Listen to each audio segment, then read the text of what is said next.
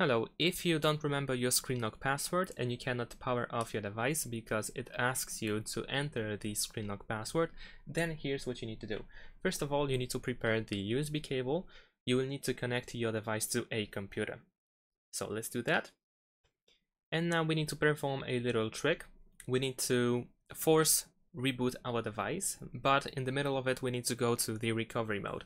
So first of all we will need to press and hold the power button and volume down button for a couple of seconds until the device is off. Once it is off you need to press and hold the power button and volume up button, so you want to switch volume down to volume up.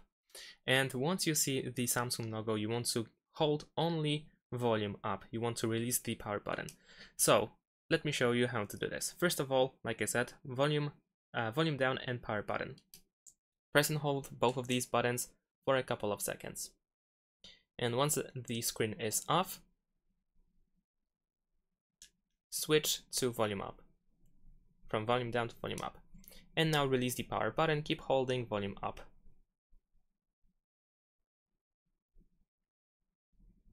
There we go, now we are in the recovery mode and what we can do is simply scroll all the way down by using volume down button. You can also use volume up, of course, uh, in order to navigate, and then confirm your choice by pressing the power button. So choose power off, press power button, and the device will be now shut down.